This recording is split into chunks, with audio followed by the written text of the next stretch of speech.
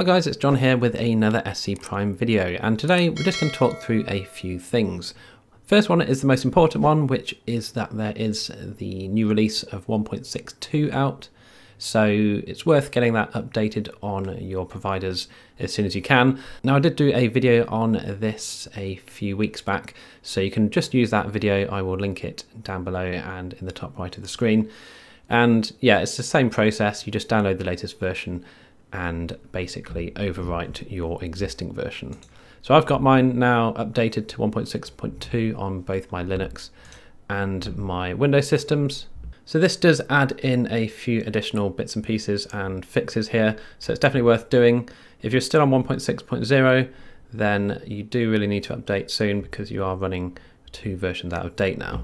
Now I can normally see who's running a version that's out of date from one of my setups because they're using duckdns.org. Now, there's nothing wrong with duckdns.org. The they did get DDoSed, I believe, a while back, but every site can get DDoSed. It doesn't matter which dynamic host provider you're using. They are actually hosted on AWS, so maybe that's a conflict of interest for SC Prime.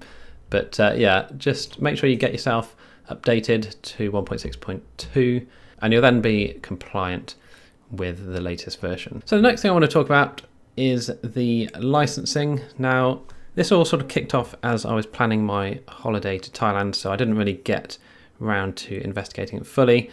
But basically, it was announced a few weeks back on the Discord that you would have to purchase a license even if you had a DIY setup. So there's three different tiers of licensing, and you can see the different prices here. I do wish they would change the font color of this because it's a bit ridiculous having blue font on a black background. But anyway, Basic version starts at $99, full version 450 and a standard version at 220. Now I believe they're going to stop selling the standard version because no one's buying it basically. So it's basically a choice between the basic and the full. Now you don't have to buy a license. The main reason for buying one though is that you will receive the data from the XANet services customers. So those are the sort of big contracts that the team are going for. So in theory, if you do buy a license, you will get more data on your provider, but obviously until they sign contracts and get people on board, that's obviously yet to be seen. So it's still worth doing, I think, because you do get a rebate in the first 12 months or over the first 12 months of buying the license. So you do get a full refund for the basic version, for example, and they do refund it in the SCP token. So you pay $99 and after six months you get 50% back and then after 12 months you get the remaining 50% back. So the basic license, it's still just the CLI, which you're obviously used to by now, and it does introduce some nice little features. So it's got an auto re-announce mode and an auto pricing mode. So that means you won't have to worry about setting the pricing for your provider. It will always meet the recommendations from SC Prime, and those prices shouldn't change by more than I believe at 0.5% each time they go up or down. So auto re-announce, I imagine, although it's not 100% clear yet, this is actually just going to re-announce your node every so often. So that could, in theory, mean you don't need to have a dynamic DNS provider because your node will just re-announce itself every so often, or maybe if it can detect that the IP has changed.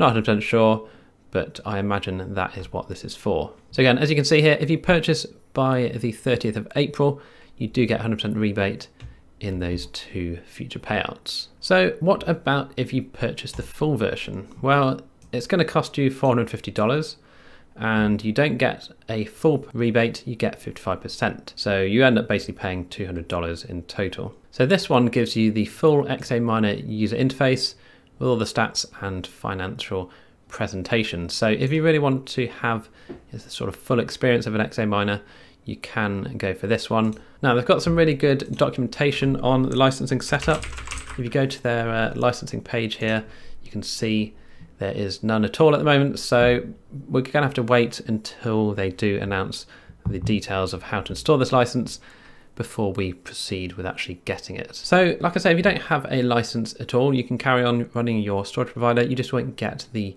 XANet services customers, which is what the big boys in the uh, storage world will obviously be uh, looking for for the extra storage usage.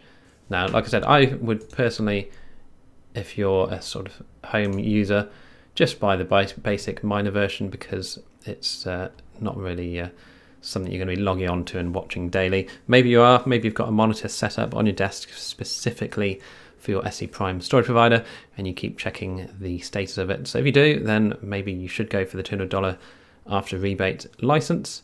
But me, I will go for the $99 for both my providers as soon as they actually update some documentation. But yes, there's no information as to what you do with this, but obviously $99 is the asking price. So hopefully they will get some instructions up soon. So next up is the NAB show, which is the National Association of Broadcasters. Now, this is basically, well, as far as I can tell, it's like an exhibition in America where people can go and it's like a, I guess it's like a trade show where people flog their products and uh, try and get more customers. So SC Prime are attending this and I've had a look at the floor plan just to see where their stall is and Interestingly enough, it's right next to the Amazon Web Services one. So you can see SCP Corp here.